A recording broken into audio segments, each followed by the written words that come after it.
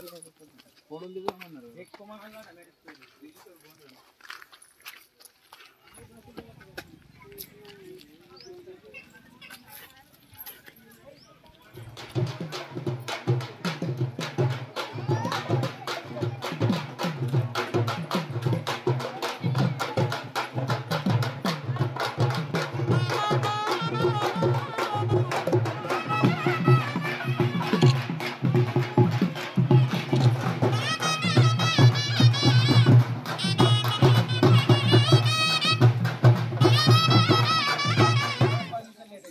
Thank